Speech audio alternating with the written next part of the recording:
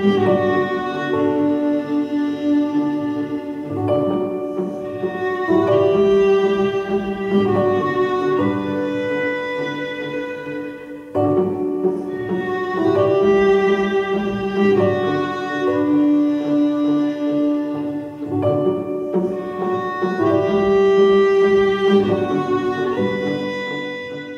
ist Peter Kunz, ich bin Architekt. Seit 1991 habe ich in Winterthur mein Architekturbüro. Seit zehn Jahren bin ich Partner bei Struth Architekten und wir schauen zusammen heute Skyframe, den Headquarter, an.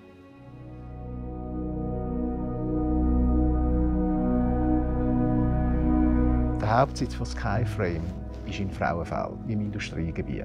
Direkt an der Autobahn gelegen, die nach Zürich führt. Das Briefing war, dass sie ein Gebäude wollen, das ein Massanzug ist für sie selber. Was für Skyframe zentral war, ist der Mitarbeiter. Der Mitarbeiter ist im Mittelpunkt von allen Überlegungen gestanden. Das hat auch sehr mit der Firmenphilosophie zu tun. Es ist nicht eine besondere Abteilung, die bevorzugt wird, sondern es sind eigentlich alle auf dem gleichen Level anzuschauen. Das heisst, alle müssen gutes Tageslicht haben, alle müssen weitgehend optimierte Arbeitsplatzbedingungen haben, die immer wieder flexibel neu arrangiert können werden Und ich glaube, das zeichnet das Gebäude aus.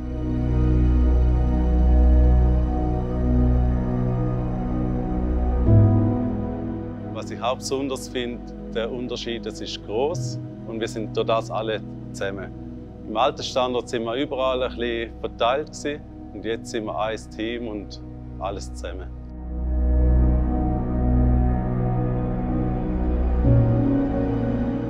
Das Gebäude ist gegliedert, dass ebenerdig die Anlieferung und Lackiererei ist. In der Mitte des Gebäudes, im ersten Stock, ist dann die eigentliche Produktion und im zweiten Obergeschoss, wo wir uns jetzt befinden, ist das ganze Engineering, Verkauf, Marketing, Abteilung.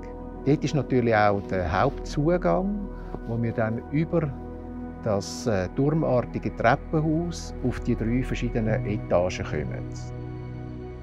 Die Gebäudetiefe wird vorgegeben durch den Lichteinfall, den Tageslichteinfall und den Ausblick. Die Länge ergibt sich durch Parzellengröße. Und so haben wir das Produktionsrechteck, das wir gefasst haben mit zwei Erschliessungstürmen. Das eine ist der Warenfluss, der im Hochregallager ist, und das andere ist der Personenfluss, wie das Gebäude erschlossen wird. Für den Besucher haben wir eine Art Catwalk installiert, wo man einen Überblick hat über den ganzen Produktionsprozess. Die ganze Struktur ist ein Verbundbetonbau. Das heißt, es ist eine Stahlkonstruktion, wo ein Stahlblech auf Träger gelegt wird und nachher überbetoniert wird. Das gibt uns die grösste Möglichkeit, grosse Spannweiten zu überspannen.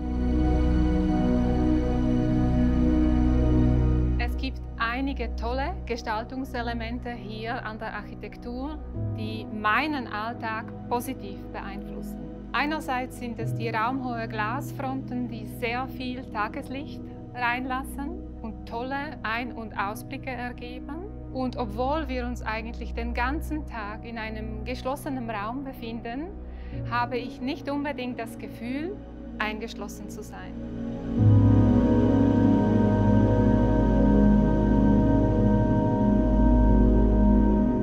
Passiert mit dem komplett verglasten Gebäude auf der Südseite? Man muss es beschatten.